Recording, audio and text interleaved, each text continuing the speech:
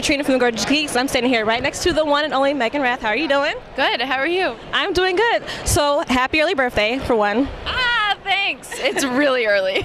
Well, I don't know when's the next time I'll be able to talk to you. Probably on Twitter, but but just Well, want to say happy you. birthday. You got any plans? I don't at all. In fact, you're the like the first person that's reminded me that it's coming up. Oh, all right. Well, cool. No plans. I'm available. Okay, so I have to say, when you had that mouse dangling in front of your mouth, how was that? Um, gross. Uh, I am like obviously not a fan of mice. Um, and then they had the mouse wrangler come in, and Sam Huntington was all over that and was like picking it up and. So, uh, seeing him so confident with the mouse helped me to be more confident.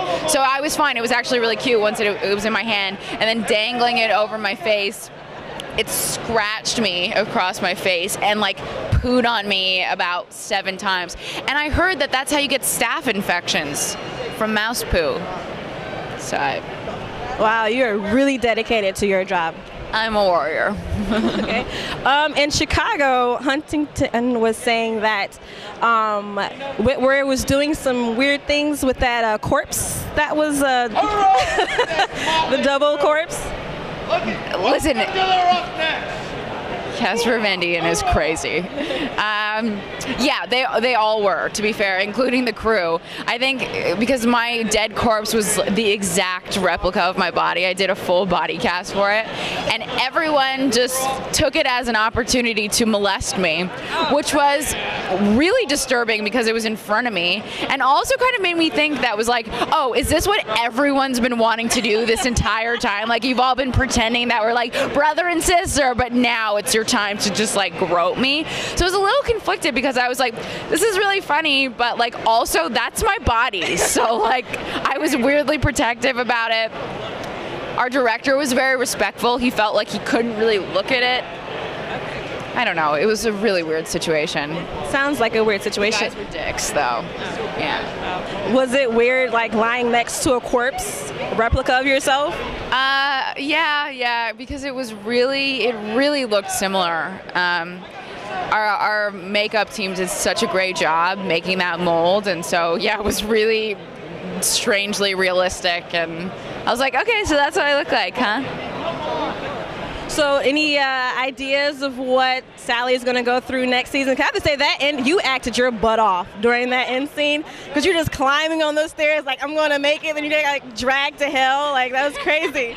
Yeah, I, I really don't know. On Twitter, everyone was saying after that episode aired, everyone was like, "Oh, Sally was like dragged to hell," and I was like, "Oh, I didn't even think of it like that." But I, I really don't know. They didn't tell me.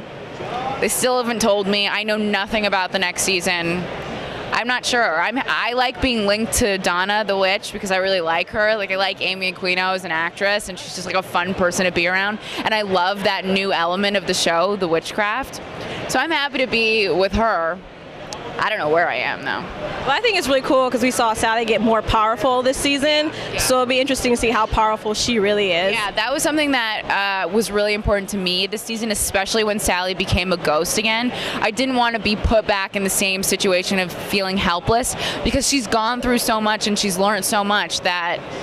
You know, at a certain point, she is going to be, be becoming more powerful and confident. And when you've lost so much and when you've lived so much, you just like stop giving a shit at one point. And you start standing up for yourself. And I think that's where Sally is now. Now, we're the Gorgeous Geeks. We're all about being proud of being geeky. What is the geekiest thing about you?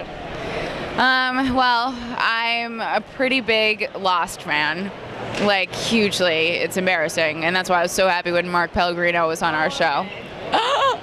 and uh, I, I'm, I'm really, really good at Mario Party and Mario Kart and Donkey Kong.